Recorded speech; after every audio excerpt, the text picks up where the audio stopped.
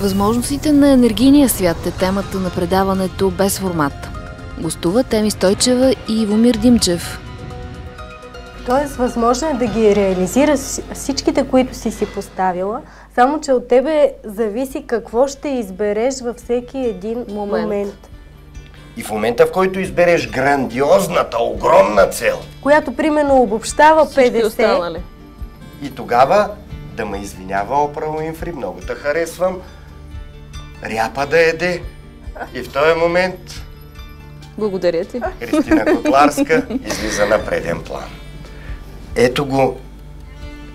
Позволяваш ли си го като лукс в в мисленето? момента. В Ето, момента да. чудесно. Ето Ето, това е. това ти е първата крачка, това ти е заявяването. И оттам нататък са ти реалните действия. Трябва да повярваш. Абсолютно вярно. Това, в което вярваме, е онова, което се случва. Този четвъртък 18.30 по ETV.